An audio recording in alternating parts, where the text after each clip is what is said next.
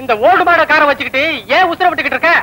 நான் எங்கெங்க உயிரை விட்டுக்கிட்டு இருக்கேன்? இந்த ஊர் பண்ணையார் தான் இத தான் பெத்த பிள்ளை போல வளர்த்துக்கிட்டு இருக்காரு வண்டி கரண்டு போச்சுன்னு சொல்றேன். கரண்டெல்லாம் ஒட்ட வச்சு ஓட்டுறாங்கிறார்.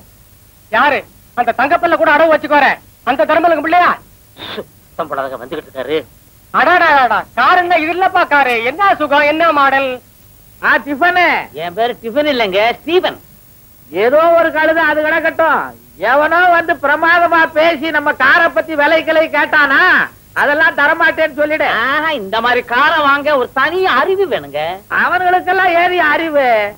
என் பையன் ஊர்ல இருந்து வர்றானே.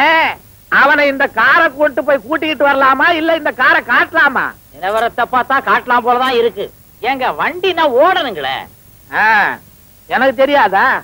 பெரிய மெக்கானிக்கல் மூஞ்சி இருந்தாலே உன்கிட்ட விட்ட வண்டிய. இதெல்லாம் எனக்கு தெரியாது. இது காரா ஓடுனாலும் சரி இல்ல பத்து பேர் எடுத்து தேரா ஓடுனாலும் சரி இந்த வண்டியில தான் என் பையன் வரணும். அப்ப வீர மாட்டிக்கிறேங்க. எது? வீலே மாட்டலியா? வீலே மாட்டலியா இல்லைங்க. நீ ஒரு வெங்கடுப்பையா அப்ப இது எதுல நிக்குது? ஜாக்கி. அது ஒண்ணுதான் பாக்கி. எதையாவது புடிச்சு திருவி தொலை.